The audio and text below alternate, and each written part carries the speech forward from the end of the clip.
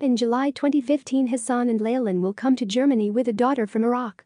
At that time he was 39, she was 23 years old. Elsewhere it is said that Hassan has been in Munich since 2006. Then it would be possible to have an import wedding. Hassan speaks little German, works as a cleaner and in a shishabar. Marriage is violent.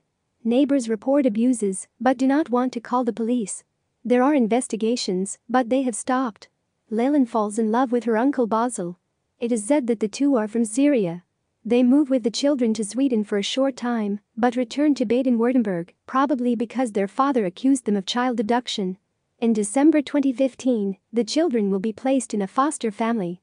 Lailan, Basel and Hassan meet during a custody case. There is a dispute, the police are called. Then Hassan will shoot Hassan Basel in front of the agents. Basel goes down, Hassan puts his gun on his sleeve and squeezes with the trigger. But no shot is fired.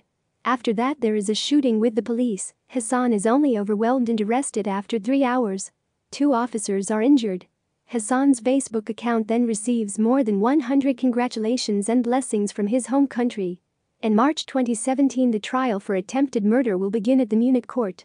Hassan's family clearly shows in court how little respect they have for the German legal system.